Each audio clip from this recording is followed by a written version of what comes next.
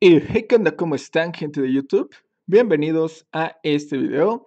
En esta ocasión vamos a ver cómo evitar la indexación de búsqueda en Windows 10. Esto es muy útil ya que normalmente cuando nosotros ocupamos esa opción, en automático nos busca en nuestros contactos, en imágenes, en prácticamente todo, incluso en OneDrive.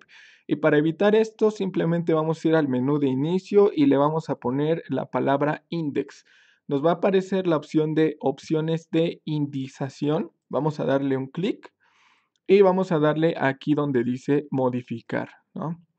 Eh, vamos a desplegar nuestro disco local C, vamos a seleccionar nuestro usuario, desplegamos nuevamente el menú y vamos a quitar las excepciones, ¿no? que en este caso evitar que me busquen mis contactos, evitar que me busquen mis imágenes para pues evitar mostrar algo muy muy personal, evitar que busquen los favoritos, en los juegos. Esto también para evitar que me dé resultados que yo no quiero, o sea, que ya sé que no.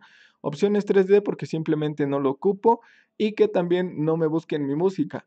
Entonces, al hacer todo esto, vamos a estarlo optimizando de tal manera que escanea menos eh, respuestas, no, evitamos eh, títulos repetidos y aparte, al estar escaneando en un menor porcentaje, pues nos da el resultado más rápido, ¿no? Entonces vamos a añadir todas estas excepciones para que únicamente me busque en descargas, escritorio y documentos, ¿no? Eh, igual en las búsquedas de internet también lo vamos a quitar para evitar un poco la privacidad.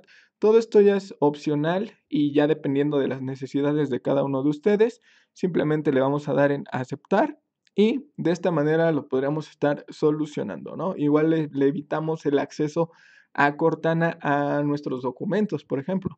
Entonces, es una opción muy útil, espero les haya gustado. Suscríbanse, comenten, activen la campanita de notificaciones.